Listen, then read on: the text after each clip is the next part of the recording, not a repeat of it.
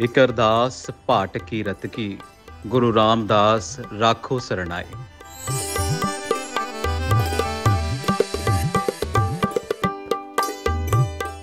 ਸਿੱਖਾਂ ਦੇ ਚੌਥੇ ਗੁਰੂ, ਧੰਨ ਧੰਨ ਸ੍ਰੀ ਗੁਰੂ ਰਾਮਦਾਸ ਜੀ, ਜਿਨ੍ਹਾਂ ਦਾ ਗੁਰਿਆਈ ਦਿਵਸ ਸੰਗਤਾਂ ਬੜੀ ਸ਼ਰਧਾ ਦੇ ਨਾਲ ਮਨਾ ਰਹੀਆਂ ਨੇ।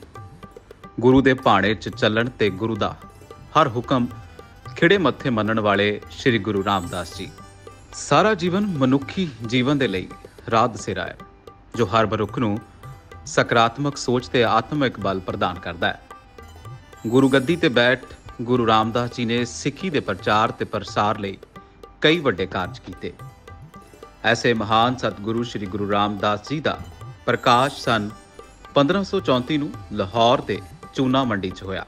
ਘਰ 'ਚ ਪਲੇਠੀ ਦਾ ਪੁੱਤਰ ਹੋਣ ਕਰਕੇ ਆਪ ਜੀ ਨੂੰ ਜੇਠਾ ਨਾਂ ਨਾਲ ਸੱਦਿਆ ਜਾਣ ਲੱਗਾ। ਭਾਈ ਜੇਠਾ ਜੀ ਹਾਲੇ ਬਹੁਤੀ ਛੋਟੀ ਉਮਰ 'ਚ ਸਨ ਕਿ ਆਪ ਜੀ ਦੇ ਮਾਤਾ ਜੀ ਅਕਾਲ ਚਲਾਣਾ ਕਰ ਗਏ। ਤੇ ਇਸ ਤੋਂ ਬਾਅਦ 7 ਸਾਲ ਦੀ ਉਮਰ 'ਚ ਹੀ ਆਪ ਨੂੰ ਇੱਕ ਹੋਰ ਅਸਹਿ ਸੱਟ ਵੱਜੀ। ਜਦੋਂ ਆਪ ਜੀ ਦੇ ਪਿਤਾ ਹਰਦਾਸ ਜੀ ਵੀ ਸਦੀਵੀ ਵਿਛੋੜਾ ਦੇ ਗਏ। ਭਾਈ ਜੇਠਾ ਜੀ ਦੇ ਸਿਰ ਤੋਂ ਮਾਤਾ ਪਿਤਾ ਦਾ ਸਾਇਆ ਉੱਠ ਜਾਣ ਨਾਲ ਤੇ ਨਾਨੀ ਭਾਈ ਜੇਠਾ ਜੀ ਨੂੰ ਆਪਣੇ ਕੋਲ ਬਾਸਰ ਕੇ ਲੈ ਆਈ। ਭਾਈ ਜੇਠਾ ਜੀ ਨੇ ਆਪਣਾ ਬਚਪਨ ਅੱਤ ਦੀ ਗਰੀਬੀ 'ਚ ਕੱਟਿਆ ਤੇ ਘੁੰਗਣੀਆਂ ਵੇਚ ਕੇ ਗੁਜ਼ਾਰਾ ਕਰਦੇ ਰਹੇ। ਇਸ ਦੌਰਾਨ ਹੀ ਭਾਈ ਜੇਠਾ ਜੀ ਨੂੰ ਗੁਰੂ ਅਮਰਦਾਸ ਜੀ ਦੀ ਸੰਗਤ ਪ੍ਰਾਪਤ ਹੋਈ ਤੇ ਆਪ ਜੀ ਦੀ ਗੁਰੂ ਅਮਰਦਾਸ ਜੀ ਦੇ ਨਾਲ ਡੂੰਗੀ ਸਾਂਝ ਬਣ ਗਈ। ਜਦੋਂ ਗੁਰੂ ਅਮਰਦਾਸ ਜੀ ਗੋਇੰਦਵਾਲ ਸਾਹਿਬ ਗਏ ਤਾਂ ਭਾਈ ਜੇਠਾ ਵੀ ਗੋਇੰਦਵਾਲ ਸਾਹਿਬ ਜਾ ਕੇ ਸੇਵਾ ਕਰਨ ਲੱਗੇ। ਗੁਰੂ ਘਰ ਪ੍ਰਤੀ ਸੇਵਾ ਭਾਵਨਾ ਤੇ ਚੰਗੇ ਜੀਵਨ ਨੂੰ ਵੇਖਦਿਆਂ ਗੁਰੂ ਅਮਰਦਾਸ ਜੀ ਨੇ ਆਪਣੀ ਸਪੁੱਤਰੀ ਬੀਬੀ ਭਾਨੀ ਜੀ ਦਾ ਵਿਆਹ ਭਾਈ ਜੇਠਾ ਜੀ ਦੇ ਨਾਲ ਕਰ ਦਿੱਤਾ। ਗੁਰੂ ਘਰ 'ਚ ਵਿਆਹ ਜਾਣ ਤੋਂ ਬਾਅਦ ਵੀ ਭਾਈ ਜੇਠਾ ਜੀ ਨੇ ਕਿਸੇ ਗੱਲ ਦਾ ਹੰਕਾਰ ਨਹੀਂ ਕੀਤਾ। ਸਗੋਂ ਪਹਿਲਾਂ ਦੀ ਤਰ੍ਹਾਂ ਲਾਜ ਤਿਆਗ ਕੇ ਸੇਵਾ ਤੇ ਭਗਤੀ ਵਿੱਚ ਲੱਗੇ ਰਹੇ ਤੇ ਗੁਰੂ ਅਮਰਦਾਸ ਜੀ ਦੇ ਹੁਕਮਾਂ ਤੇ ਪਹਿਰਾ ਦਿੱਤਾ। ਗੁਰੂ ਅਮਰਦਾਸ ਜੀ ਨੇ ਆਪਣੇ ਤੋਂ ਬਾਅਦ ਗੁਰਗੱਦੀ ਦੀ ਜ਼ਿੰਮੇਵਾਰੀ ਲਈ ਯੋਗ ਵਿਅਕਤੀ ਦੀ ਪਰਖ ਕੀਤੀ ਤਾਂ ਭਾਈ ਜੇਠਾ ਜੀ ਉਸ ਪਰਖ ਤੇ ਖਰੇ ਉਤਰੇ।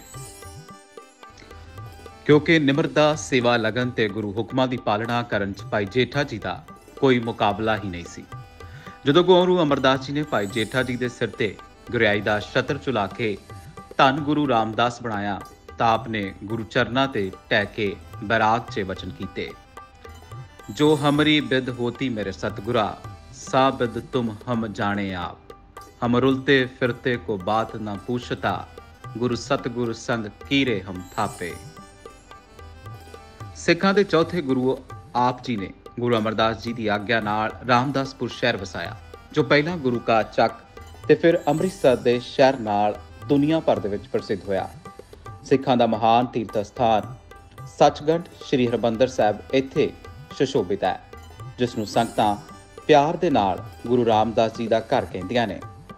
ਗੁਰੂ ਰਾਮਦਾਸ ਜੀ ਨੇ ਆਪਣੇ ਗੁਰਿਆਈ ਕਾਲ 'ਚ ਸਿੱਖੀ ਦੇ ਪ੍ਰਚਾਰ ਲਈ ਵਿਸ਼ੇਸ਼ ਉਪਰਾਲੇ ਕੀਤੇ।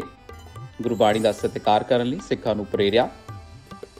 ਜਿਵੇਂ ਗੁਰੂ ਅਮਰਦਾਸ ਜੀ ਨੇ ਸਿੱਖੀ ਦੇ ਪ੍ਰਚਾਰ ਲਈ 22 ਮੰਜੀਆਂ ਥਾਪੀਆਂ ਸਨ, ਉਸੇ ਤਰ੍ਹਾਂ ਗੁਰੂ ਰਾਮਦਾਸ ਜੀ ਨੇ ਮਸੰਦ ਥਾਪ ਕੇ ਸਿੱਖੀ ਦੇ ਪ੍ਰਚਾਰ ਨੂੰ ਹੋਰ ਤੇਜ਼ ਕੀਤਾ। ਗੁਰੂ ਜੀ ਵੱਲੋਂ ਥਾਪੇ ਮਸੰਦਾਂ ਨੇ ਉਸ ਵੇਲੇ ਪੰਥ ਦੀ ਉਸਾਰੀ 'ਚ ਕਾਫੀ ਚੰਗਾ ਯੋਗਦਾਨ ਪਾਇਆ। ਗੁਰੂ ਨਾਨਕ ਦੀ ਚੌਥੀ ਜੋਤ ਸ੍ਰੀ ਗੁਰੂ ਰਾਮਦਾਸ ਜੀ ਨੇ 30 ਰਾਗਾਂ ਦੇ ਵਿੱਚ ਬਾਣੀ ਉਚਾਰੀ। ਆਪ ਜੀ ਦੁਆਰਾ ਸੂਹੀ ਰਾਗ ਦੇ ਵਿੱਚ ਉਚਾਰਨ ਕੀਤੀ ਬਾਣੀ ਚੋਲਾਵਾਂ ਦਾ ਪਾਠ ਆਨੰਦ ਕਾਰਜ ਵੇਲੇ ਬੜੀ ਸ਼ਰਧਾ ਦੇ ਨਾਲ ਕੀਤਾ ਜਾਂਦਾ ਹੈ।